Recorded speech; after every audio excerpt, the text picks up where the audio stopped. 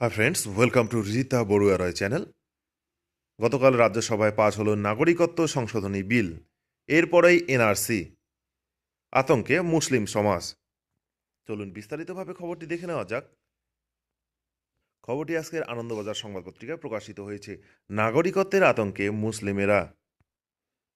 লোকসভা ভোটের আগে থেকেই দেশের রাজনীতি আলোড়িত হয়েছে জাতীয় নাগরিকপঞ্জি ও নাগরিকত্ব সংশোধনী বিল নিয়ে। নাগরিকপঞ্জি নিয়ে ক্ষোভ প্রতিফলিত হয়েছে রাজ্যের সম্প্রতি তিনটি বিধানসভা আসনের উপনির্বাচনে বিজেপির ভরাডুবিতে। অসমের নাগরিকপঞ্জির চূড়ান্ত তালিকায় বহু হিন্দুর নাম বাদ পড়ার জন্য এ রাজ্যের হিন্দুরাও আতঙ্কিত ছিলেন। কিন্তু গত তিন দিনে পরিস্থিতি খানিকটা পাল্টে গিয়েছে। লোকসভায় সোমবারই নাগরিকত্ব সংশোধনী বিল দু পাশ হয়েছে। বুধবার দিনভর রাজ্যসভায় বিতর্ক চলেছে। বিরোধীরা বিশেষত কংগ্রেস বিল নিয়ে চূড়ান্ত সমালোচনা করলেও শেষ রক্ষা হয়নি। ফলে যা দাঁড়াল রীতিমতো চিন্তায় পড়ে গিয়েছেন সংখ্যালঘুরা। নতুন করে এনআরসি ভিত্তিতে ভুগতে শুরু করেছে নদিয়া জেলার সংখ্যালঘু সম্প্রদায়ের মানুষ।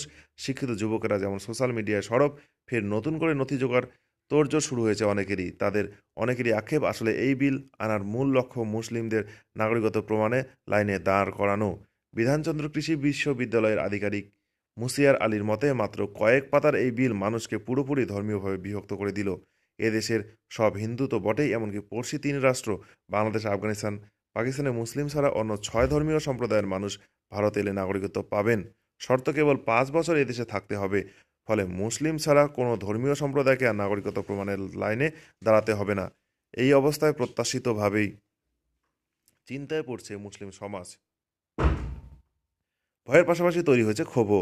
অনেকেরই মতে, এভাবে ধর্মের ভিত্তিতে কোনো বিল আনা যায় না। তা সমতার অধিকারের পরিপন্থী। দেশের সংবিধান যে সাম্যের অধিকার দিয়েছে, সেখানে তো ধর্মের ভিত্তিতে কোনো বিভাজনের কথা বলেনি।